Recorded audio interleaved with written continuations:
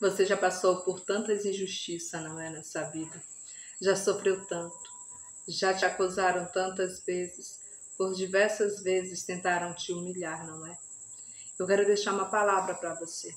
Olha o que o Senhor te diz. Em cima de tudo isso que você viveu, o Senhor tem uma palavra para você. Se encontra lá em Provérbios 25, 21. E olha o que o Senhor te diz. Se o que te aborrece tiver fome, dá-lhe pão para comer. E se tiver sede, dá-lhe água para beber. Porque assim brasas lhe amontoarás sobre a cabeça, e o Senhor tu pagará.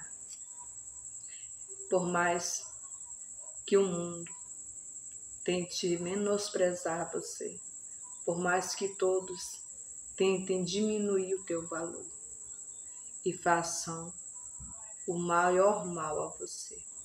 Ore por eles. Clama ao Senhor por cada vida que te fez mal.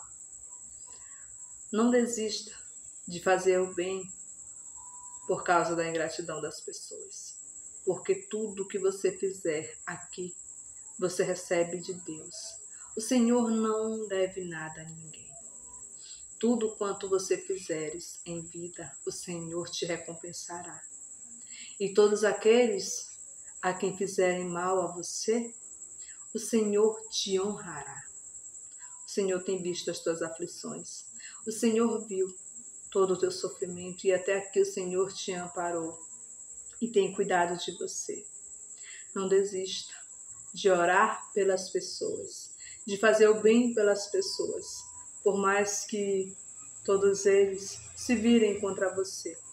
O que importa é que a tua recompensa não vem do homem, a tua recompensa vem dos céus, vem de Deus.